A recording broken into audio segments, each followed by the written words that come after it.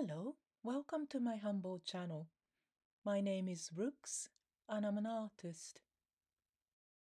I was planting the main crop potatoes this week and it gave me an idea. For this episode, I'm going to depict my first potato that I've grown about a decade ago. Victor. As per usual, I start with a very rough sketch. Not much of a point binding myself with precision at this point. I'm drawing a spud, not designing a skyscraper.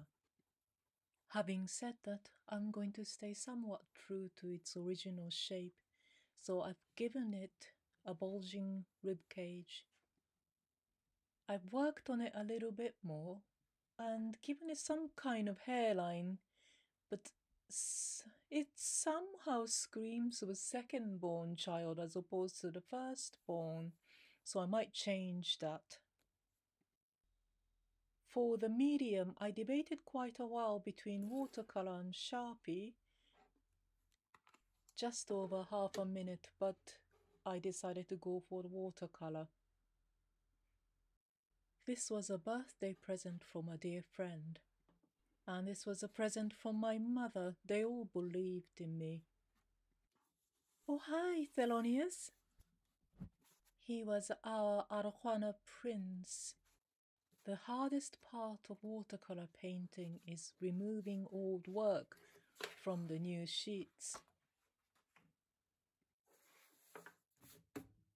And I messed it up again because I'm a parsnip. For the watercolor, I don't bother making detailed sketches on the paper. I tend to leave a lot of things to chance. I mark the paper with a warm color first, a bit like aperitif. Prepares me for the course of action to follow. Then I follow it with a mood tone, in this case, Dead Laura Palmer grey.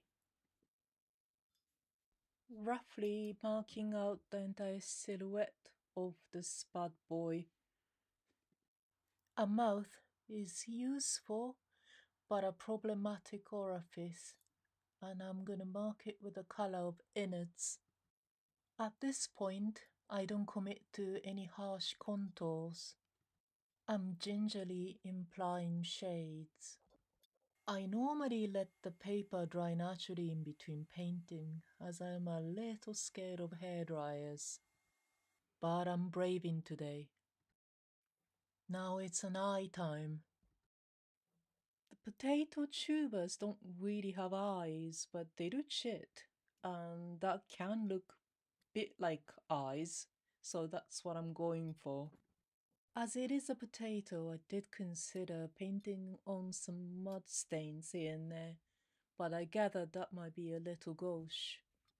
Now, in some cases, it's absolutely fine to be a bit gauche, but not today.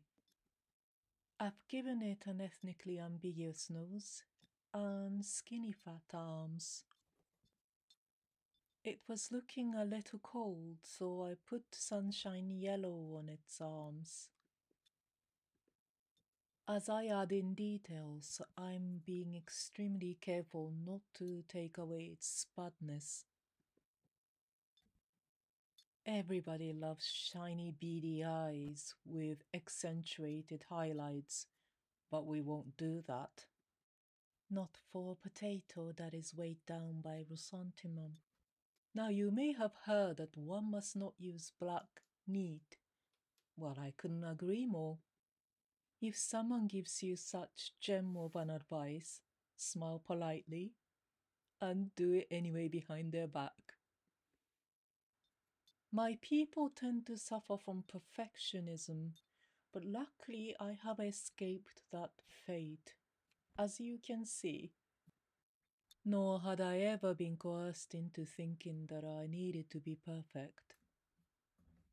I was always blessed with treacle like affection, and that's what I've shown to this wonderful first-born potato of mine.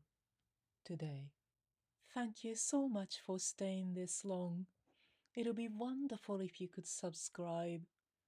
Or you can get your cat to do it. That'll be fun.